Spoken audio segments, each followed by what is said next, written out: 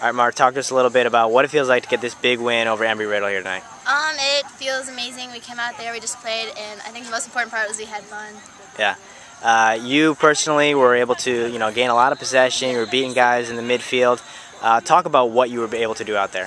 Um, I just play my game. You know, I just go out there, relax. I think of my favorite player, Lionel Messi, and just I go out there and play my game. Talk a little bit about Alyssa and what she was able to do on both of those scores today. Oh, Alyssa just, I don't know, she was absolutely amazing. Like, she just, she got on the end of every ball. Uh, players like that and, and, Casey and some of the girls that have been here before, do you, how much do you look up to them and look towards them to show you, you know, the way that's supposed oh, to be? I look up to them for so much. Like, they've given me so many tips, and I'm still learning from them. And what do you guys have to do from this point to keep this sort of thing up going forward? Um, we just got to keep training hard and playing hard, and most of all, just having fun.